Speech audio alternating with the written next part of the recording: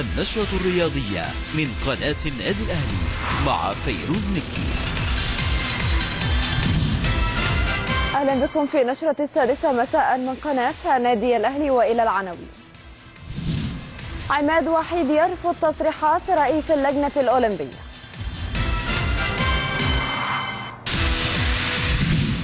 والأهلي يخوض ميرانه الأخير قبل لقاء الترجي. كوبر يتمسك بالبقاء مع المنتخب.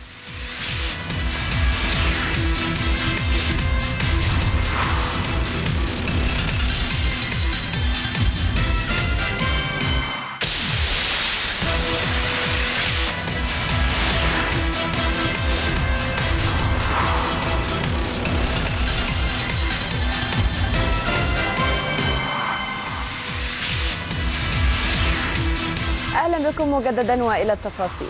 أعلن عماد وحيد عضو مجلس إدارة الاهلي رفضه للتصريحات التي أطلقها المهندس هشام حطب رئيس اللجنة الأولمبية ووصف خلالها موقف الاهلي والمدافع عن حقوق جمعيته العمومية في إقرار لائحة النادي الخاصة بأنه معاد للدولة.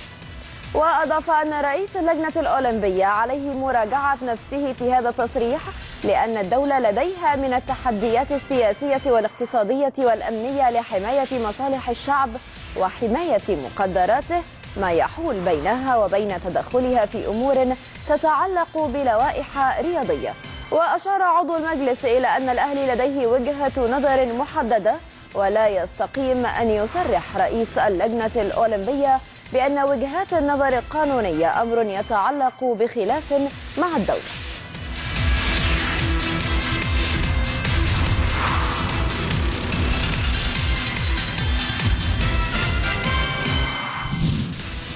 يخوض فريق الأهلي مساء اليوم الجمعة ميرانه الأخير في الإسكندرية استعدادا للمواجهة المرتقبة أمام الترجي التونسي والمقررة غدا السبت في دور الثمانية ببطولة دوري أبطال أفريقيا. كان الفريق قد غادر أمس الإسكندرية لخوض معسكر مغلق قبل لقاء الترجي على أن يلعب ضد الفريق التونسي في السابعة مساء السبت.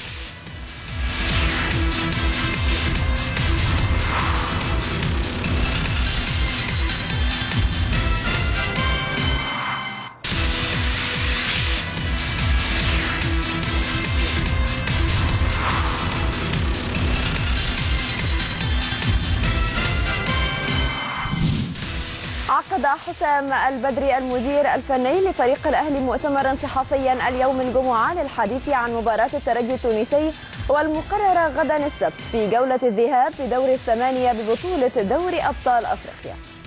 وأكد البدري في المؤتمر الصحفي صعوبة لقاء الترجي خاصة أن الفريقين يطمعان في التتويج باللقب القاري هذا الموسم. وننتقل لمتابعة ما قاله حسام البدري في المؤتمر الصحفي.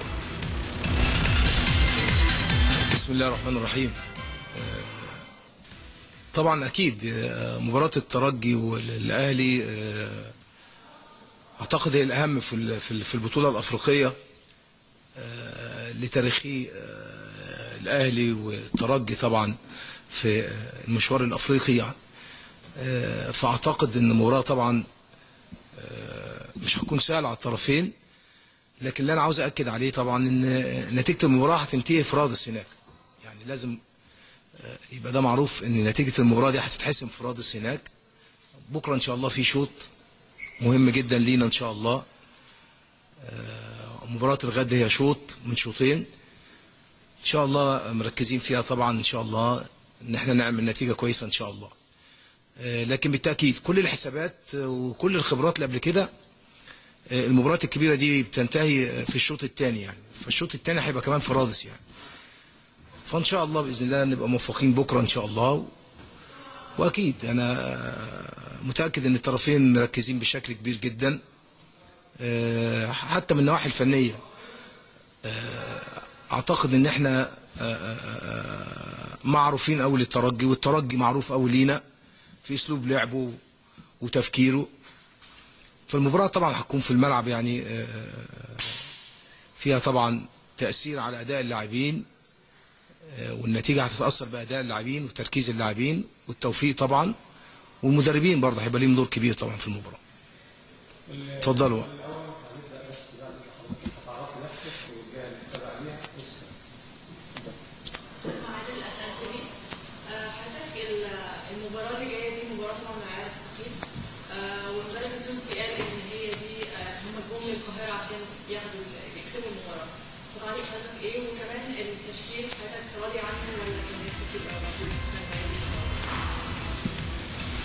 يعني هي الم- المباراة التملي بقول آه، آه، آه، بجانب الملعب بيبقى في بعض برضو آه، تصريحات اللي هي البعض بيحاول إن هي يبقى فيها ضغط عصبي وفيها لكن أكيد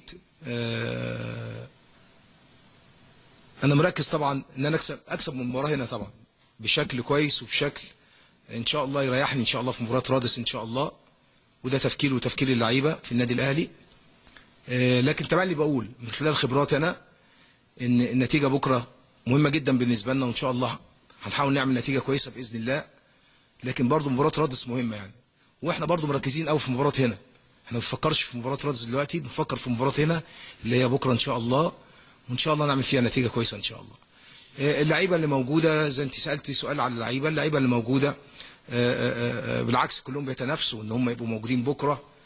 والحمد لله ما عندناش إصابات. والمنافسة كبيرة. إن شاء الله نوفق بإذن الله في اختيار افضل أفضل عناصر لأن في مراكز عندنا في كل مركز بيبقى فيه آه، لاعب واثنين يعني.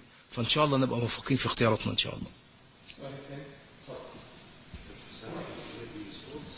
حسام في البدايه طبعا هي مباراه لن تكون سهله على الاسباب ولكن كيف تتعامل كابتن حسام البدري بالعامل النفسي لدى اللاعبين من الضغط الجماهيري البدري اللاعش الف مشجع يكون موجودين آه، إزاي يقدر يستغل آه، هذا الحشد الكبير من الجماهير في تحقيق الفوز هنا والاريحيه إلى نسبيا في مباراه. هو بالطبع يعني يعني عاوز أكد إن آه، آه، إحنا الجماهير بتاعتنا بتبقى موجودة على فترات طبعا نظرا لل آه، لأن إحنا بنلعب الدوري المحلي بدون جماهير. لكن ثبت طبعا باليقين وحتى في في مشوار التأهل بتاعنا إن الجماهير بتبقى عامل إيجابي جدا بالنسبة لنا وشفنا الكلام دوت في أكتر من مباراة مباراه القطن وأكتر من مباراة يعني. فأنا بأكد طبعا إن الجماهير هتبقى عامل إيجابي جدا. بالنسبة للعيبة. وبالعكس يعني آه، آه، انت عارف لعيبة النادي الأهلي الجماهير بتبقى بالنسبة لها وقود يعني. فال 20000 دول إن شاء الله بإذن الله هيبقوا عامل إيجابي في صالحنا بكرة إن شاء الله إن شاء الله. يعني إن شاء الله.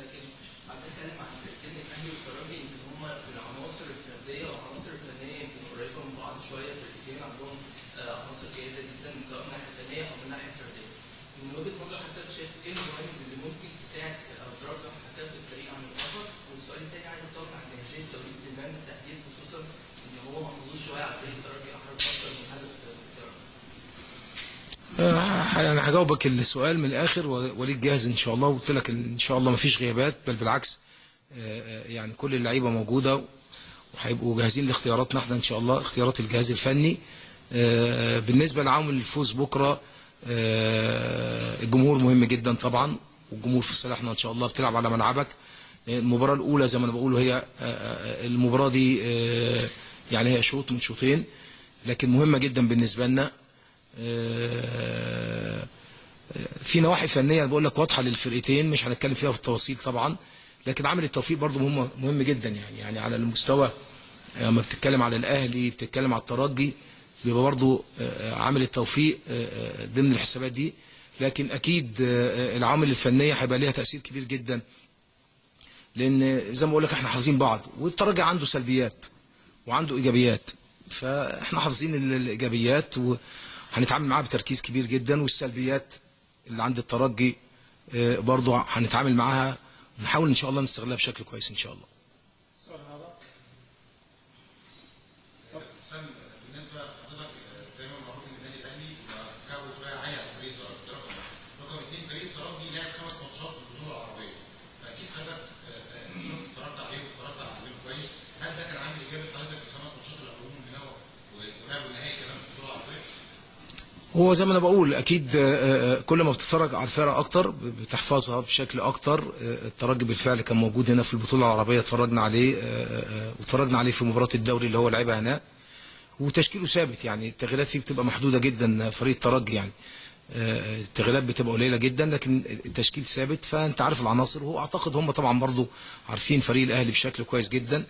آه، فزي ما أنا بقول لك المباراة برضو الملعب هيبقى ليه عامل كبير جدا. يعني الملعب اللي هو الجيم اللي هيبقى ما بين اللعيبة آه، بعضهم ضد بعض يعني وإحنا كمان كمدربين برضو والتغييرات هيبقى ليها والتوفيق برضو. هي دي الماتشات الكبيرة بتبقى كده. حتة الحظ وكده بتمنى طبعا زي ما بقول لك التوفيق يبقى صالحنا لكن كل مباراة وليها ظروفها.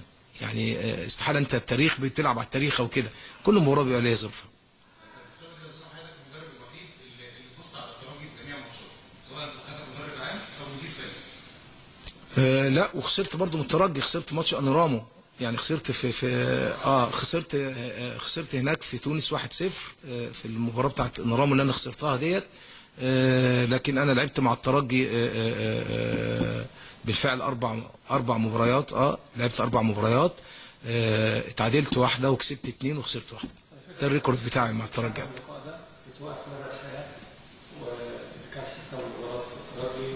آه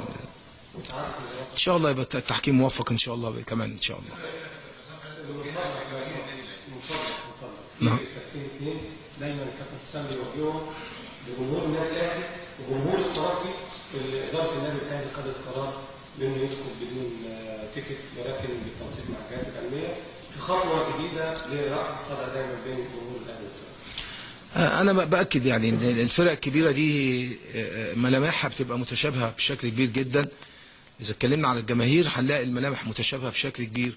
آه، الأهلي عنده جماهير عظيمة طبعا آه، في كل حاجة طبعا. ومن الجماهير طبعا إذا ما كانوش الأميز على مستوى القارة الأفريقية والع- والعربية يعني آه، جماهير النادي الأهلي مميزة. وجودهم بكرة هيبقى دافع كبير لينا. فرقة الترجي برضو من الفرق اللي عندها جماهير مميزة. آه، وأنا شفتهم يعني شفتهم بره تونس وشفتهم في تونس برضو مميزين. وبقول لك الملامح بتاعت الفرق الكبيرة دي بتبقى متشابهة آه، وبنرحب بيهم طبعا في مصر وبنرحب بالجماهير ال- التونسية اللي موجودة في مصر وإن شاء الله على المستوى ال- ال- الجماهير كمان إن شاء الله آه، تبقى مباراة تليق بالفريقين إن شاء الله في كل حاجة في, الهدوء وفي النظام. لكن أنا بقول هي المباراة مباراة كبيرة آه، في الملعب بين فرقتين وإن شاء الله نكون موفقين فيها بإذن الله إن شاء الله بإذن الله.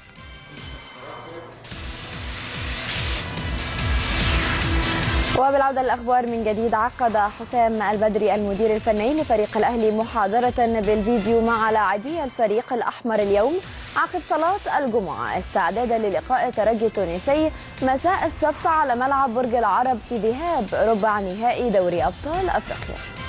وركز البدري خلال محاضرته باللاعبين قبل خوض الميران الختامي عصر اليوم بالإسكندرية على إبراز الجوانب الفنية لفريق الترجي وكيفية التعامل معها بالشكل الأمثل. كان البدري قد ألغى محاضرة الأمس وأجل الحديث في الأمور الفنية لليوم. على المستويين النظري والعملي خلال التدريبات الختامية. للمزيد من التفاصيل ينضم إلينا الآن من الإسكندرية أمير هشام مراسل قناة النادي الأهلي للتعرف على آخر تحضيرات الأهلي لمواجهة الغد المرتقبة أمام الترجي بإذن الله. أمير أهلا بيك. إيه آخر استعدادات الفريق للقاء الترجي؟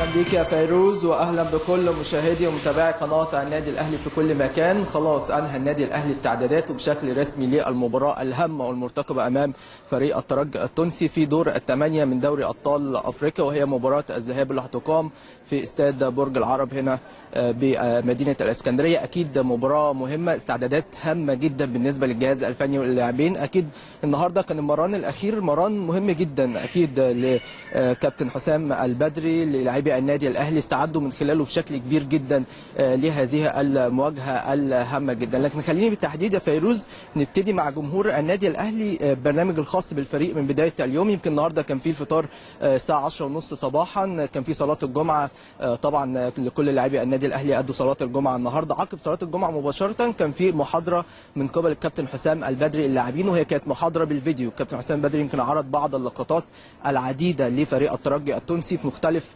المباريات السابقة لهذا الفريق خصوصا إن فريق الترجي التونسي يمكن لعب حتى الآن أربع مباريات في الدوري التونسي وقدر إنه يفوز آه، بها جميعا قدر إنه يحرز ثمان أهداف آه، خلال آه، أربع مباريات وده يمكن معدل جيد جدا بالنسبة لفريق آه، الترجي التونسي ومعدل هجومي جيد. في المقابل استقبل هدفين آه، بس ده برضه يعتبر معدل دفاعي جيد ويمكن ده كان كلام كابتن حسام البدري مع اللاعبين آه، خلال المحاضرة النهارده عقب صلاة الجمعة مباشرة. أيضا إدى بعض التعليمات هي أكيد مش التعليمات الأخيرة كابتن حسام البدري خصوصا النهارده مساء هيكون آه، في محاضرة أخرى غدا هيكون في أيضا آه، آخر محاضرة الكابتن حسام البدري هيستقر من خلالها أكيد على التشكيل اللي هيبتدي بيه هذه المباراة. لكن خلينا أكمل معاك يا فيروز البرنامج الخاص آه، باليوم النهارده. طبعا الساعة 2:30 كان في آه، ميعاد الغداء بالنسبة للجهاز الفني واللاعبين.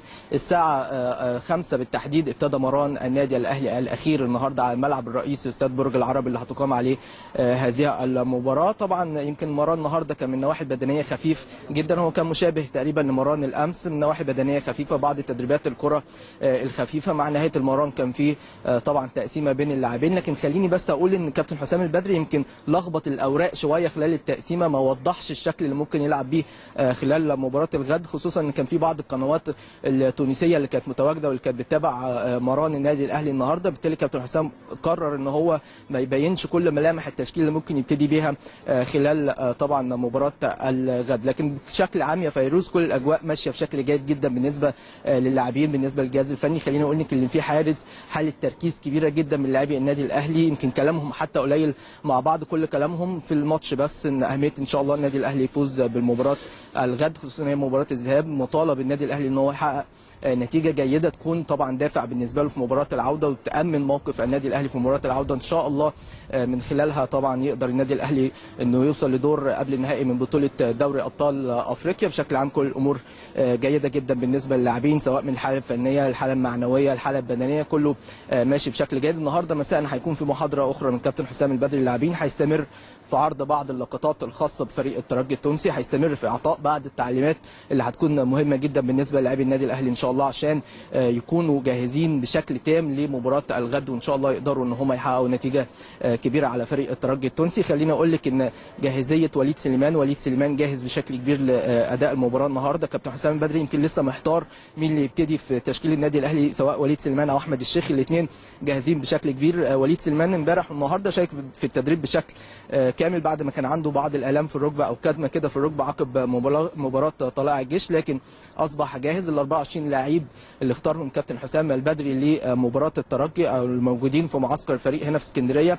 كلهم بحالة بدنية وحالة فنية آه، جيدة جدا ومستعدين بشكل كبير جدا لأداء هذه المباراة. إن شاء الله في النهاية نتمنى كل التوفيق للنادي الأهلي. إن شاء الله يقدر يؤدي آه، مباراة جيدة. عنصر الجمهور غدا إن شاء الله اللي هيكون متواجد حوالي 20000 متفرغ. خليني برضو ألفت النظر يا فيروز إن بكرة هيكون متواجد عدد من جماهير التونسية. طبعا عدد من جماهير جماهير الترجي حوالي من 1000 ل 2000 آه، متفرج أو من 1000 ل 2000 طبعا مشجع آه، تونسي هيكونوا متواجدين يدعموا فريق الترجي التونسي وده يمكن عدد مش قليل يعني يعني هيكون في طبعا آه، صوت ليهم واضح خلال مباراة الأهلي والترجي إن شاء الله. غدا لكن إن شاء الله آه، جمهور النادي الأهلي 20000 متفرج هيكون ليهم مفعول السحر إن شاء الله في مباراة الغد يكونوا داعم بشكل كبير إن شاء الله النادي الأهلي يقدر يحقق فوز مريح قبل مباراة العودة إن شاء الله في رادس عودة ليك يا فيروز. أمير هشام مراسل قناة النادي الأهلي شكرا جزيلا ليك. كنت معنا عبر عبر الأقمار الصناعية. وبالعودة للأخبار من جديد حرص طارق سليمان مدرب حراس الأهلي على توجيه عدد من التعليمات الخاصة لحراس الفريق قبل مواجهة الترجي. وعلى رأسهم الحارس الأساسي شريف إكرامي بالإضافة للثنائي محمد الشناوي وأحمد عادل. وكثف طارق سليمان خلال تدريبات الفريق الأخيرة من استعدادات حراس الأهلي لأهم وأخطر كرات الترجي والمتمثلة في التسديد والكرات العرضية.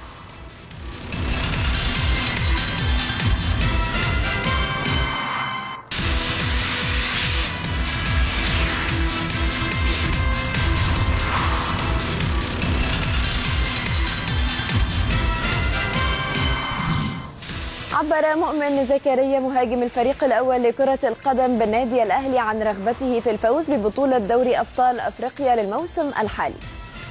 ونشر زكريا عبر حسابه الشخصي على موقع التواصل الاجتماعي تويتر صورة للتشكيل المثالي لدوري المجموعات لدوري أبطال أفريقيا والذي انضم إليه زكريا رفقة زميله في الفريق حسام عاشور.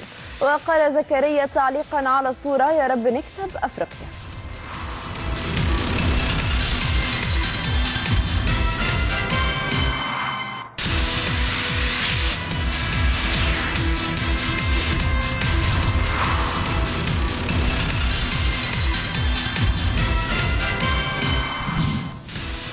يا رب نكسب أفريقيا بالعوده للأخبار من جديد يخضع ميدو جابر مهاجم فريق الأهلي لبرنامج علاجيه املا في اللحاق بلقاء الإياب أمام الترجي التونسي يوم 23 سبتمبر الجاري.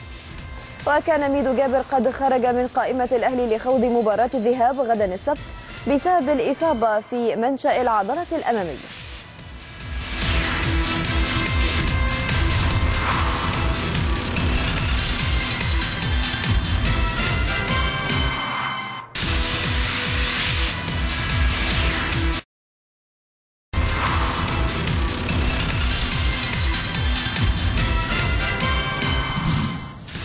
يخوض فريق الترجي التونسي ميرانه بعد قليل على ملعب برج العرب بالإسكندرية والذي يستضيف لقاء الأهلي مساء غد السبت في جولة الذهاب بدور الثمانية بدوري أبطال أفريقيا.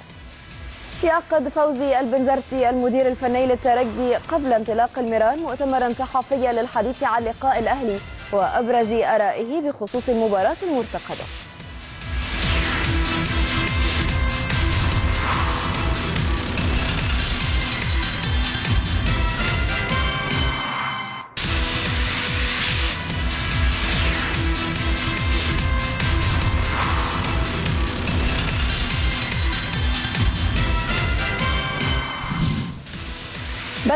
أعداد كبيرة من جماهير الترجي التونسي في التوافد إلى مصر من أجل مؤازرة ناديها في مباراة الأهلي والتي ستقام غدا السبت ملعب برج العرب في ذهاب الدور ربع النهائي بمسابقة دوري أبطال أفريقيا.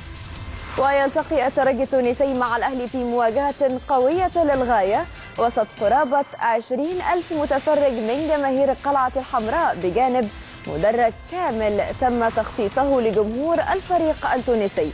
وحضرت بعثة الفريق التونسي إلى برج العرب بطائرة خاصة ومعها عشرات الجماهير بجانب جماهير أخرى حضرت بعيدا عن البعثة الرسمية لحضور اللقاء ودعم الفريق والذي يمتلك شعبية جارفة في تونس.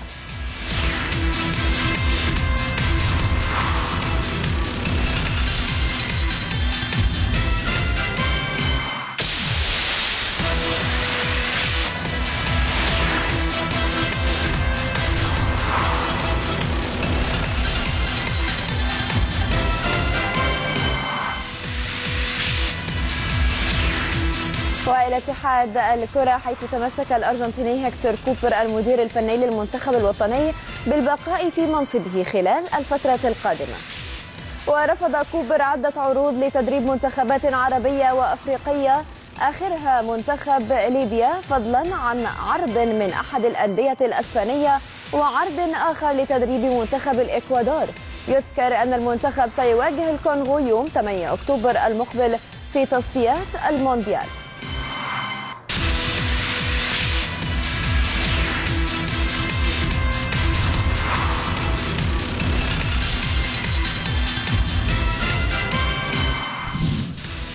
غادر مجدي عبد الغني عضو مجلس إدارة اتحاد الكرة إلى هولندا لحضور اجتماعات جمعية اللاعبين المحترفين لمناقشة بعض الملفات قبل العمومية والمقرر لها ديسمبر المقبل.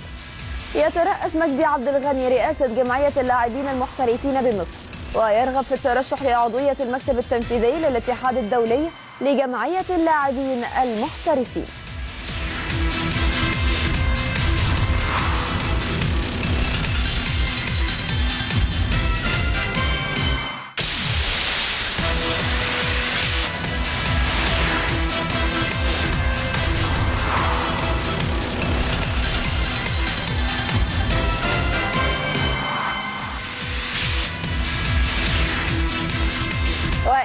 والى متابعة أخبار الأندية الأخرى حيث يلتقي بعد قليل فريق الرجاء مع فريق الأسيوطي على ملعب المكس بالإسكندرية المكس عفوا في الإسكندرية بالجولة الثانية لمسابقة الدوري. وتعادل الأسيوطي مع المقصه بالجولة الأولى للدوري بينما تلقى الرجاء هزيمة مريرة على يد المقاولون بثلاثية.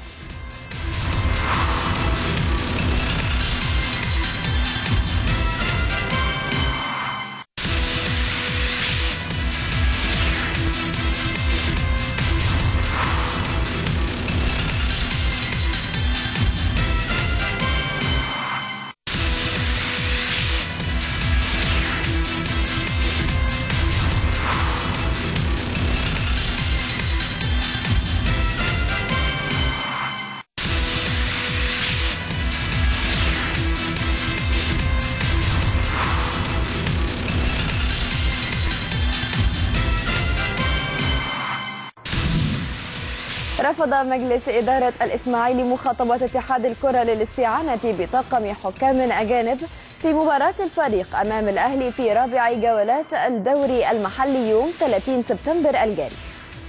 يذكر أن اتحاد الكرة قد أعلن إقامة مباراتي الدورين الأول والثاني على ملعب برج العرب بالإسكندرية.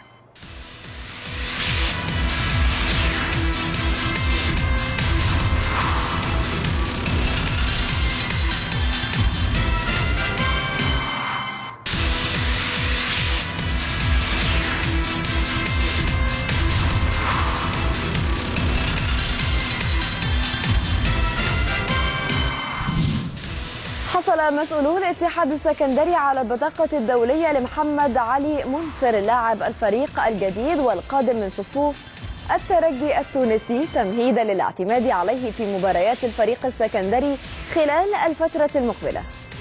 في الوقت الذي طالب هاني رمزي المدير الفني للاتحاد تجهيز مدافع الفريق السوري مؤيد الخولي تمهيدا للدفع به خلال المباريات المقبلة. لحل الأزمة الدفاعية والتي يعاني منها الفريق. أنا الالتزام. دايما بتعلم. بتحرك. ببص لقدام. بجري. مش بس عشان حياتي.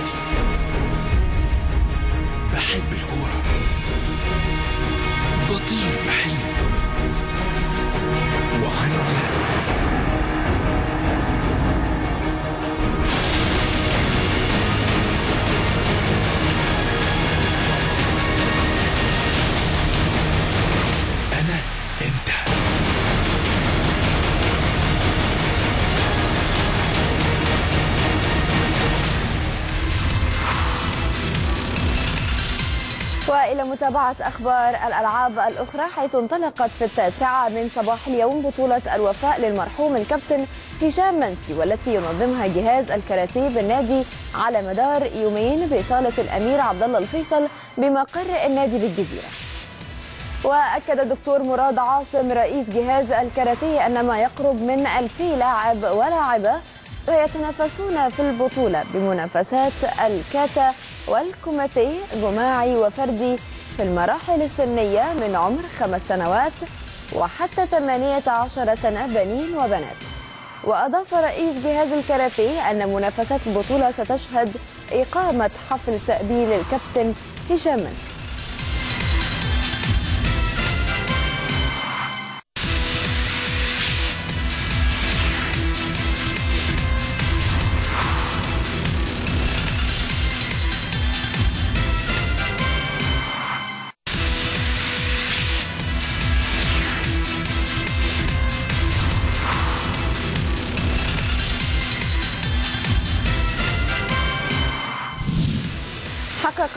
الفريق الأول لكرة اليد رجال بالنادي الأهلي تحت قيادة المدير الفني للكابتن عاصم حماد فوزا مهما على فريق هليوبلس في المباراة التي جمعت الفريقين أمس ضمن منافسات بطولة دوري المحترفين. وقدم الفريق عرضا قويا ونجح في إنهاء المباراة لصالحه بنتيجة 35-33 في إطار ثالث جولات بطولة دوري المحترفين وأقيمت المباراة على صالة هليوبلس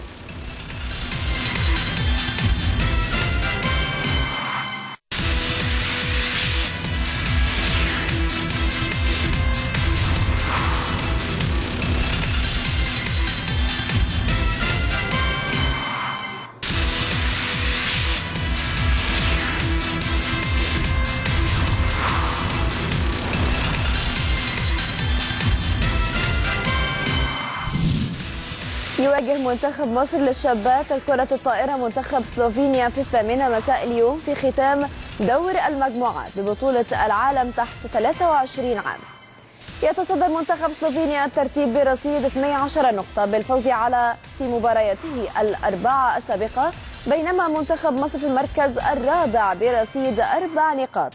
يحتاج المنتخب المصري خسارة منتخبي الأرجنتين وتايلاند أمام الصين والدومينيك أو الفوز على سلوفينيا لضمان التأهل للعب على المراكز من الخامس للثامن للمرة الأولى في التاريخ في إنجاز كبير حصده المنتخب المصري.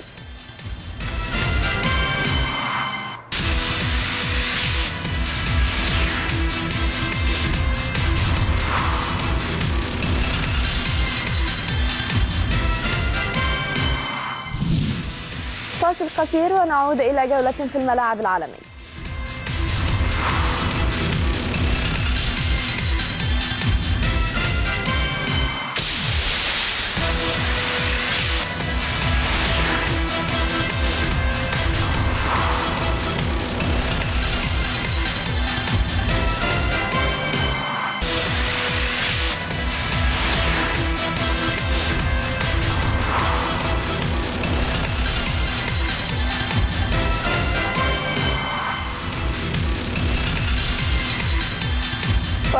جولة في الملاعب العالمية حيث أعلن الاتحاد الأوروبي لكرة القدم فوز اللاعب المصري محمد صلاح لاعب ليفربول الإنجليزي بجائزة اللاعب الأفضل في الجولة الأولى من دور المجموعات بدوري أبطال أوروبا.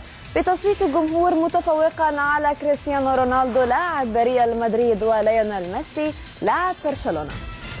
حصد صلاح 51% من أصوات رواد موقع الاتحاد الأوروبي لكرة القدم يويفا فيما حصد ليونيل ميسي نسبة 20% من الأصوات وجاء رونالدو في المركز الثالث برصيد 12% من نسبة الأصوات. فيما جاء جيمس رودريغيز صانع ألعاب بايرن ميونخ في المركز الرابع برصيد 7% من الأصوات.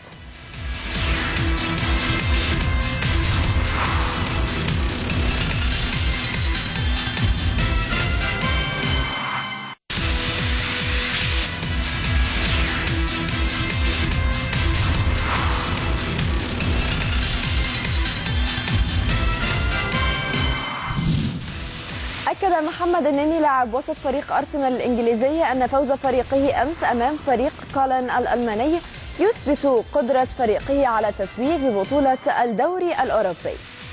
كان أرسنال قد حول تأخره بهدف إلى فوز كبير بثلاثة أهداف لهدف وصرح النني عقب المباراة أن لاعبي كولن أدوا شوطا أول جيد ولكن الأرسنال نجح في الضغط عليهم في الشوط الثاني وتحويل التأخر إلى فوز. وأضاف النني أن هدفهم في الفريق هو الفوز بالبطولة لكنه لن يفكر في ذلك الأمر الآن مفضلا التركيز في كل مباراة على حدة.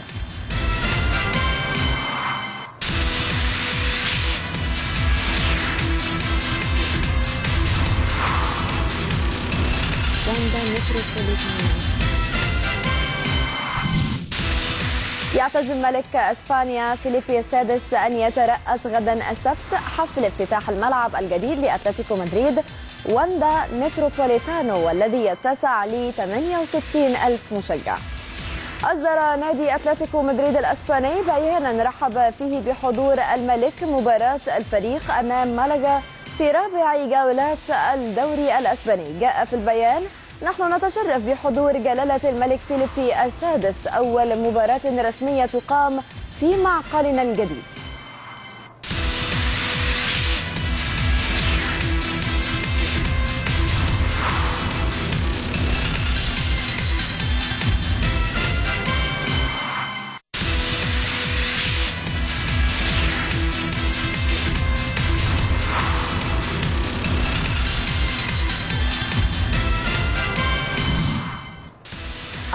الفرنسي كريم بنزيما لاعب ريال مدريد الأسباني عن رغبته في البقاء مع النادي الملكي. وقال بنزيما في تصريحات نقلتها صحيفة آس الإسبانية قضيت تسع سنوات في ريال مدريد وهو أفضل فريق في العالم.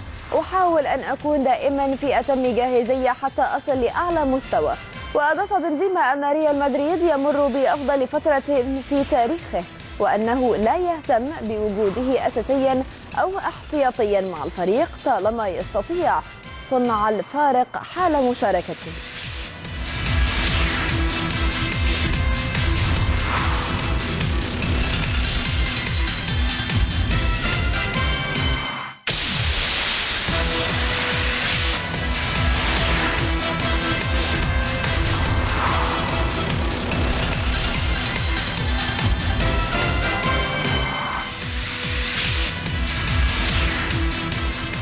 متابعة أخبار الأهلي في الصحف والمواقع والبداية من بوابة الأهرام.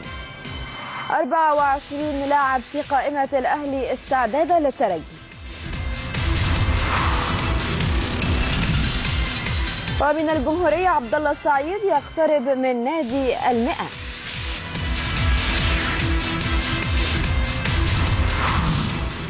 ومن المساء الأهلي يحشد نجومه وجمهوره للترجي.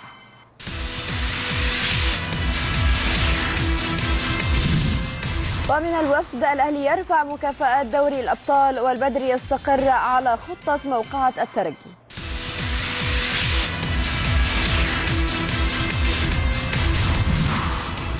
ومن المصري اليوم طوارئ داخل معسكر الأحمر والبدري يراهن على الشيخ.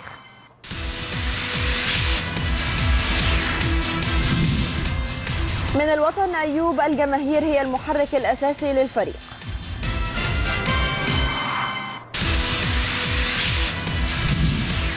ومن الشروق عاشور وزكريا في التشكيل المثالي لدوري أبطال أفريقيا.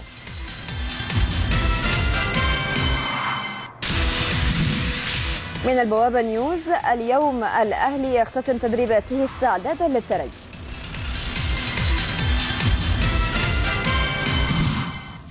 ومن فيتو ضابط المخابرات السنغالي يدير لقاء الأهلي والترجي.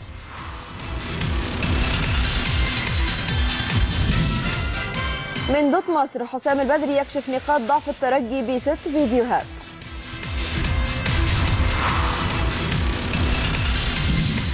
ومن يورو سبورت عربية ثلاث لاعبين سوبر رهان البدري لضرب الترجي.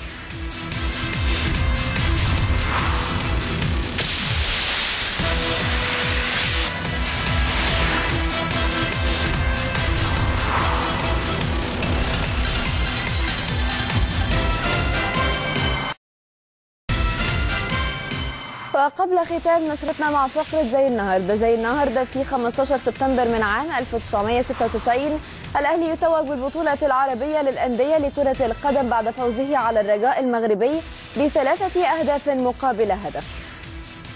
انتهى شوط المباراة الأول بالتعادل واحد واحد. تقدم الأهلي عن طريق مجدي طلبة في الدقيقة الثالثة وتعادل الرجاء بهدف لاعبه صلاح الدين بسير في الدقيقة 29 وفي الشوط الثاني سجل هادي خشب الهدف الثاني للأهلي عن طريق ركلة جزاء في الدقيقة 51 وأحرز وليد صلاح الدين الهدف الثالث قبل نهاية المباراة.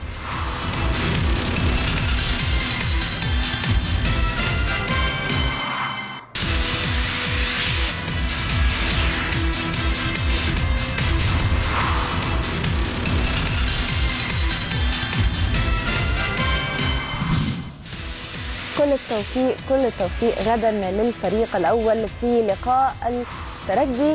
بهذا نكون وصلنا إلى ما قبل ختام نشرتنا في زي النهارده أيضا في 15 سبتمبر من عام 2013 الأهلي يفوز على الزمالك بنتيجة 4-2 في الجولة الخامسة. لدور المجموعات بدوري أبطال أفريقيا. المباراة أقيمت على استاد الجونة بالغردقة وتقدم الزمالك مبكرا عن طريق عمر جابر في الدقيقة الرابعة. وتعادل وليد سليمان بعدها بخمس دقائق.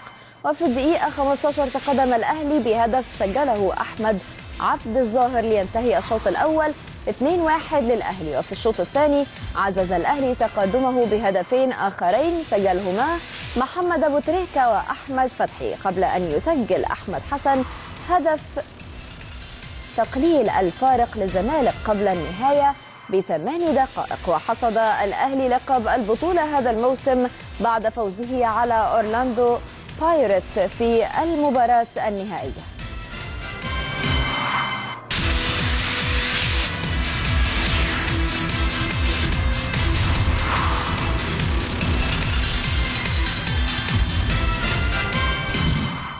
إلى هنا تنتهي نشرة أخبار السادسة من قناة النادي الأهلي دمتم. في أمان الله.